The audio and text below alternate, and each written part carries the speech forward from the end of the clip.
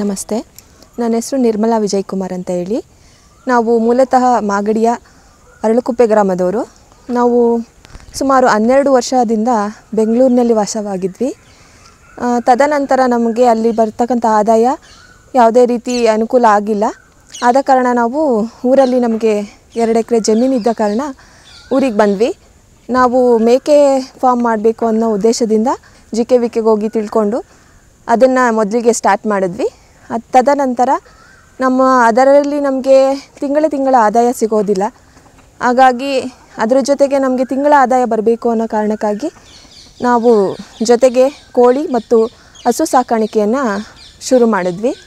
ಕೋಳಿ ಬಂದು ನಾವು ಇವಾಗ ಕಡಕ್ನಾಥ್ ಕೋಳಿಯನ್ನು ಸಾಕಾಣಿಕೆ ಮಾಡ್ತಾಯಿದ್ದೀವಿ ಇದರಲ್ಲಿ ಮೂಲ ಉದ್ದೇಶ ಏನಪ್ಪ ಅಂತ ಅಂದರೆ ನಾಟಿ ಕೋಳಿ ಸಾಕಾಣಿಕೆಗೆ ಕಂಪೇರ್ ಮಾಡಿದ್ರೆ ಕಡಕ್ನಾಥ್ ಕೋಳಿ ನಿಮಗೆ ಆರೋಗ್ಯ ವಿಚಾರವಾಗಿ ತಗೊಂಡ್ರೆ ನಾಟಿ ಕೋಳಿಗೆ ನಿಮಗೆ ಕಾಯಿಲೆ ಬಂದಾಗ ಬೇಗ ಅದು ಸಾಯುತ್ತೆ.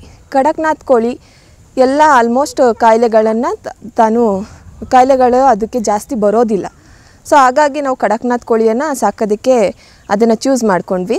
ಈ ಕಡಕ್ನಾಥ್ ಕೋಳಿ ಬಂದು ಮಧ್ಯಪ್ರದೇಶದ ಕೋಳಿ ಆಗಿದ್ದು ಇದು ಇವಾಗ ಏನಂತ ಅಂದರೆ ಇವಾಗ ಟ್ರೆಂಡ್ ಜಾಸ್ತಿ ಇದೆ ಇದಕ್ಕೆ. ಹಾಗಾಗಿ ನಾವು ಇದನ್ನೇ ಸಾಕಬೇಕು ಅಂತ ಅಂದ್ಬಿಟ್ಟು ಮಲ್ಲಿಗೆ ಮೆಟ್ಲು ಅಂತ ಅಂದ್ಬಿಟ್ಟು ಕನಕಪುರದ ಹತ್ರ ಬರುತ್ತೆ.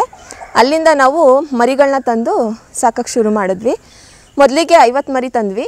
ಈಗ ಮತ್ತೆ ಐವತ್ತು ಮರಿ ತೊಗೊಬಂದಿದ್ದೀವಿ ಇದರಲ್ಲಿ ವಿಶೇಷತೆ ಏನಂದರೆ ಒಂದು ಸತಿ ಮೊಟ್ಟೆ ಇಡೋಕ್ಕೆ ಸ್ಟಾರ್ಟ್ ಮಾಡಿದ್ರೆ ಅದು ಕಂಟಿನ್ಯೂಸ್ ಆಗಿ ಮೊಟ್ಟೆ ಇಡ್ತಾ ಇರುತ್ತೆ. ಮತ್ತು ಕಾವಿ ಕೂರಲ್ಲ. ಸೊ ಇದು ಮೊಟ್ಟೆಗೆ ನಮಗೆ ಹೆಚ್ಚು ಆದಾಯ ತಂದುಕೊಡುತ್ತೆ. ಮತ್ತು ಮಾಂಸನೂ ಅಷ್ಟೇ. ನಿಮಗೆ ಇದು ಮಾಂಸ ತುಂಬ ರುಚಿಯಾಗಿರುತ್ತೆ. ಬೇರೆ ಕೋಳಿಗಳಿಗೆ ಕಂಪೇರ್ ಮಾಡಿದ್ರೆ ಆರೋಗ್ಯಕರನೂ ಹೌದು. ಹಾಗಾಗಿ ಇದರ ಮಾಂಸಕ್ಕೆ ನಾನ್ನೂರ ಐವತ್ತು ರೂಪಾಯಿಯಿಂದ ನಾವು ಮಾರ್ತಾ ಇದ್ದೀವಿ. ಸೊ, ಹಾಗಾಗಿ ಇದಕ್ಕೆ ಬೇಡಿಕೆ ಜಾಸ್ತಿ ಇದೆ. ನಾವು ಇದನ್ನು ನಾನ್ನೂರ ಐವತ್ತು ರೂಪಾಯಿ ಪರ್ ಕೆ ಜಿ ಆಗಿ ಸೇಲ್ ಮಾಡ್ತಾ ಇದ್ದೀವಿ. ಮೊಟ್ಟೆಯನ್ನು ಇಪ್ಪತ್ತು ರೂಪಾಯಿಂದ ಹದಿನೈದು ರೂಪಾಯಿ, ಇಪ್ಪತ್ತು ರೂಪಾಯಿ ಆಗಿ ನಾವು ಕೊಡ್ತಾ ಇದ್ದೀವಿ. ಮತ್ತು ಈ ಕೋಳಿ ಇದು ಏನಂದರೆ ನಾರ್ಮಲ್ ನಾವು ರಾಗಿ ಮತ್ತು ಜೋಳವನ್ನು ನುಚ್ಚು ಮಾಡಿ ಹಾಕೋದು, ಅಕ್ಕಿ ಮತ್ತು ಹಸಿರು ಮೇವು ಆಚೆ ಬಿಡ್ತೀವಿ. ಹಾಗಾಗಿ ನಾವು ಇದಕ್ಕೇನು ಜಾಸ್ತಿ ಬೇರೆ ಯಾವುದು ಫುಡ್ಡನ್ನು ಹಾಕಿ ಬೆಳೆಸ್ತಿಲ್ಲ. ನಾವು ನಾರ್ಮಲಾಗಿ ಹೇಗೆ ನಾಟಿ ಕೋಳಿಯನ್ನು ಹೇಗೆ ಸಾಕ್ತೀವಿ, ಅದೇ ರೀತಿಯಲ್ಲಿ ಇದನ್ನು ಸಾಕ್ತಾಯಿದ್ದೀವಿ ಇದಕ್ಕೇನು ನಾವು ಹೆಚ್ಚಿಗೆ ಖರ್ಚು ಮಾಡ್ತಿಲ್ಲ. ಅದು ಆಚೆ ಬಿಡೋದ್ರಿಂದ, ಹಸಿರು ಮೇವು ಜಾಸ್ತಿ ತಿನ್ನೋದ್ರಿಂದ ನಮಗೆ ಮೇವಿನ ಜಾಸ್ತಿ ಅಭಾವತೆ ಏನಿಲ್ಲ. ಹಾಗಾಗಿ ನಮಗೆ ಇದರಲ್ಲಿ ಬರ್ತಕ್ಕಂಥದ್ದೆಲ್ಲ ಲಾಭನೇ ಹೊರತು ಇದರಿಂದ ಯಾವುದೇ ನಷ್ಟ ಇಲ್ಲ. ಹಾಗಾಗಿ ನಾವು ಕಡಕ್ನಾಥ್ ಕೋಳಿಯನ್ನು ಆಯ್ಕೆ ಮಾಡ್ಕೊಂಡಿದ್ದೇವೆ. ಇದರಿಂದ ನಮಗೆ ಮೊಟ್ಟೆಯಿಂದ ತಿಂಗಳಿಗೆ ಇಲ್ಲ ಅಂತ ಅಂದ್ರೂ ನಮಗೆ ಎರಡು ಸಾವಿರ ರೂಪಾಯಿವರೆಗೂ ಆದಾಯ ಸಿಗುತ್ತೆ. ಕೋಳಿನೂ ಅಷ್ಟೇ. ನಮಗೆ ಸೇಲ್ ಆದಂಗೆಲ್ಲ ಅದು ಒಂದು ಕೆ ಜಿ ನಾನ್ನೂರೈವತ್ತು ರೂಪಾಯಿ ಅಂತ ಅಂದರೆ ಒಂದು ಕೋಳಿ ನಿಮಗೆ ಒಂದೂವರೆಯಿಂದ ಎರಡು ಕೆ ಜಿ ತೂಕ ಬರುತ್ತೆ. ಹಾಗಾಗಿ ಅದರಿಂದನೂ ಆದಾಯ ನಮಗೆ ಬರುತ್ತೆ. ಜೊತೆಗೆ ಈ ಕಡಕ್ನಾಥ್ ಕೋಳಿ ಜೊತೆಗೆ ನಾವು ಹಸು ಸಾಕಾಣಿಕೆಯನ್ನು ಮಾಡ್ತಾಯಿದ್ದೀವಿ ಹಸು ಸಾಕಾಣಿಕೆಯಲ್ಲಿ ನಮಗೆ ಹಾಲು ಉತ್ಪಾದನೆ ಮಾಡ್ತಾಯಿದ್ದೀವಿ ಅದು ಬಂದು ಈಗ ಒಂದು ಹಸು ಇದೆ. ಜೊತೆಗೆ ಎಮ್ಮೆಗಳಿದೆ, ಮತ್ತು ಕರುಗಳಿದೆ. ಕರು ಏನಪ್ಪ ಉದ್ದೇಶ ಅಂತ ಅಂದರೆ ನಾವು ಹಸು ತಂದು ಸಾಕಿ ಅದನ್ನು ನಾವು ಹಾಲು ಹಾಕೋದಕ್ಕಿಂತ ನಾವು ಹೆಚ್ಚಿನ ಬಂಡವಾಳ ಹಾಕಬೇಕಾಗುತ್ತೆ ಹಸುಗಾದರೆ. ಅದರ ಉದ್ದೇಶದಿಂದ ಕರುಗಳನ್ನ ತಂದು ಅದನ್ನು ಎರಡು ವರ್ಷ ಸಾಕಿ ಅದಕ್ಕೆ ಹೀಟ್ ಮಾಡಿಸೋದ್ರಿಂದ ಅದು ಫಲಕ್ಕೆ ಬರುತ್ತೆ. ನ- ತದನಂತರ ನಾವು ಅದನ್ನು ಯು ಬೇರೆಯವರಿಗೆ ನಾವು ಐವತ್ತರಿಂದ ಅರವತ್ತು ಸಾವಿರ ರೂಪಾಯಿವರೆಗೂ ಅದನ್ನು ಸೇಲ್ ಮಾಡ್ಬೋದು. ಅದರ ಉದ್ದೇಶದಿಂದ ಕರುಗಳನ್ನು ಸಾಕಿದ್ದೇವೆ. ನಾವು ಮುಂದೆ ಎಂಟುನೂರು ಕೋಳಿಗಳನ್ನ ಮಾಡಿದಾಗ ನಮಗೆ ಆದಾಯ ಇನ್ನೂ ಜಾಸ್ತಿ ಆಗ್ತಾ ಹೋಗುತ್ತೆ. ಇವಾಗಲೇ ನಮಗೆ ತಿಂಗಳಿಗೆ ಅದರಿಂದ ಎಂಟರಿಂದ ಹತ್ತು ಸಾವಿರ ಆದಾಯಗಳು ಸಿಗುತ್ತೆ.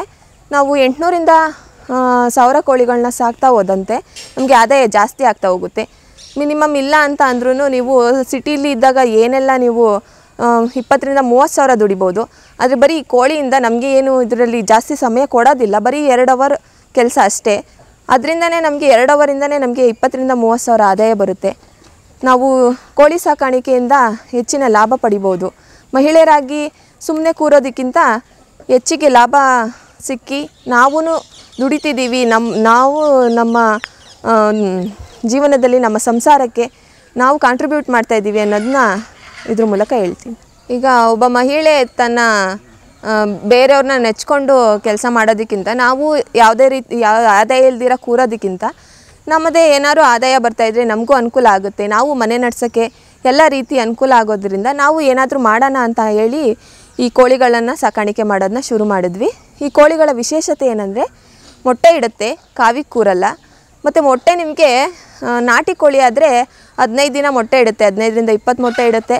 ಕಾವಿ ಕೂರುತ್ತೆ, ಮತ್ತೆ ಮೊಟ್ಟೆ ಹೊಡಿಬೇಕಂದ್ರೆ ಅದು ಟೈಮ್ ತೊಗೊಳುತ್ತೆ. ಬಟ್ ಇದರಲ್ಲಿ ಆಗಲ್ಲ. ನಿಮಗೆ ಕಂಟಿನ್ಯೂಸ್ ಆಗಿ ಮೊಟ್ಟೆ ಇರುತ್ತೆ. ವರ್ಷದಲ್ಲಿ ಸುಮಾರು ಒಂದು ಎರಡು ತಿಂಗಳು ಮೊಟ್ಟೆ ಸಿಗದೆ ಇರ್ಬೋದು ನಿಮಗೆ. ಯಾಕಂದರೆ ಒಂದು ತಿಂಗಳು ಮೊಟ್ಟೆ ಇಡುತ್ತೆ, ಒಂದು ವಾರ ಮತ್ತೆ ಮೊಟ್ಟೆ ಇಡಲ್ಲ. ಇಲ್ಲಾಂದರೆ ಎರಡು ತಿಂಗಳು ಮೊಟ್ಟೆ ಇಡುತ್ತೆ. ಮಧ್ಯದಲ್ಲಿ ಒಂದು ಒಂದು ವೀಕ್ ಅಷ್ಟೇ ಮೊಟ್ಟೆ ಇಡಲ್ಲ. ಹಂಗಾಗಿ ಕಂಟಿನ್ಯೂಸ್ ಆಗಿ ನಿಮಗೆ ಮೊಟ್ಟೆ ಸಿಗ್ತಾ ಇರುತ್ತೆ ಇದರಲ್ಲಿ. ಮೊಟ್ಟೆಯಿಂದ ಒಳ್ಳೆ ಆದಾಯ ಇದೆ. ದಿನನಿತ್ಯ ಆದಾಯ ಬರೋದ್ರಿಂದ ನಮಗೆ ಮನೆ ಖರ್ಚಿಗಾಗಲಿ ಬೇರೆ ಸಣ್ಣ ಪುಟ್ಟ ಖರ್ಚುಗಳು ಯಾವುದೇ ರೀತಿ ತೊಂದರೆ ಇರೋದಿಲ್ಲ. ನಮ್ಮ ಫುಲ್ಲು ಸಂಸಾರವನ್ನು ನಾವು ಇದರಿಂದನೇ ತೂಗಿಸ್ಬೋದು.